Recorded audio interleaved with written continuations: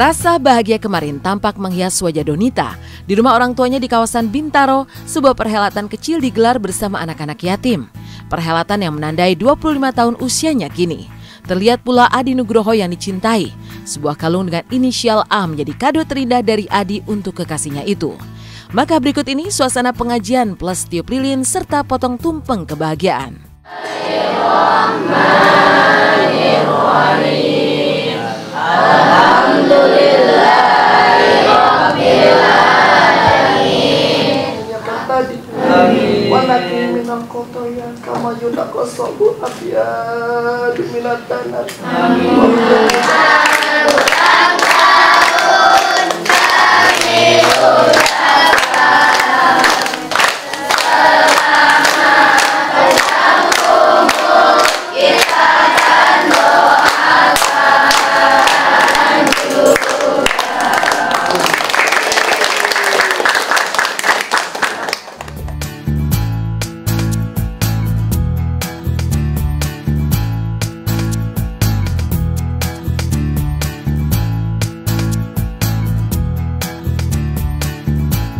hadiah khusus eh, hadiah bunga hadiah doa ya kan? Mm, hadiah kalung. Sama ada hadiah kalung juga.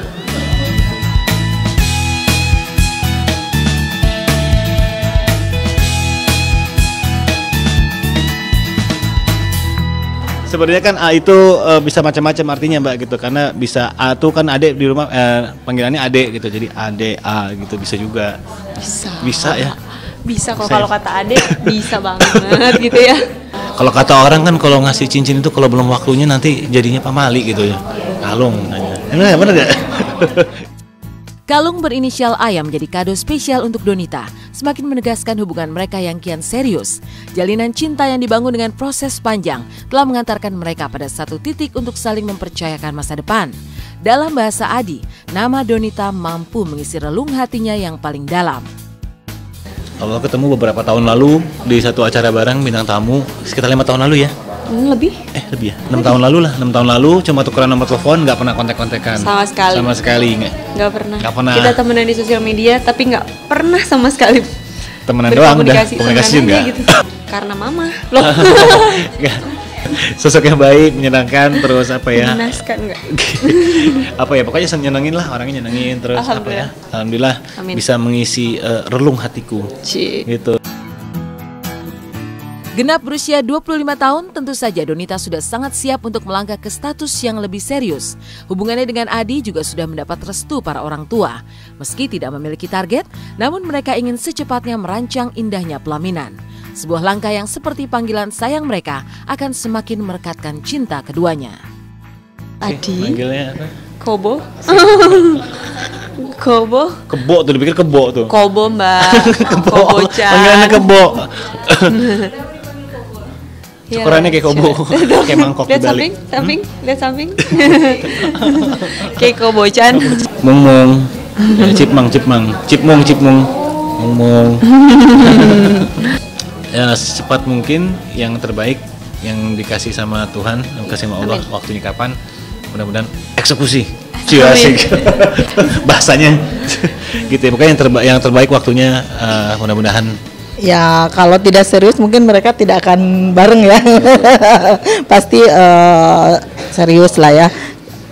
Hanya kalau perjalanan kan manusia berusaha semua kembalikan kepada yang di atas karena yang di atas yang akan menentukan eh, apa yang terbaik untuk mereka. Siapa yang menjadi Miss Indonesia selanjutnya dan berhak mewakili Indonesia di ajang Miss World 2014? Saksikan dalam kemegahan Malam Puncak Miss Indonesia 2014 yang diberiakan oleh para bintang. Senin 17 Februari jam setengah 9 malam live dari Hode 2 G Expo Kemayoran. Miss Indonesia, semua mata tertuju padamu. Masterpiece kini hadir lebih spesial. Impian Al berkumpul bersama keluarga. Ini adalah sejarah bisa nyanyi bareng. Al juga datang. Keluarga penuh cinta Kevin Aprilio dan kebersamaan Kobe Junior yang sebentar lagi akan berakhir. Masterpiece jam 10 malam live. Dan pemirsa sesaat lagi rekan saya Dona Amelia akan hadir menemani Anda dalam Silet. Silakan Dona. Terima kasih Nike. Dan pemirsa, Silet siang hari ini akan melihat indahnya pernikahan Oki dan Rio yang baru saja menetas perjalanan umroh dan bulan madu. Serta kebersamaan Giselle dan Gading Martin yang begitu romantis. Kisah kemelut pernikahan Citra KDI bersama sang kolonel yang kian memanas dikarenakan adanya wanita-wanita yang mengaku istri sang kolonel pun akan hadir dalam Silet sesaat lagi.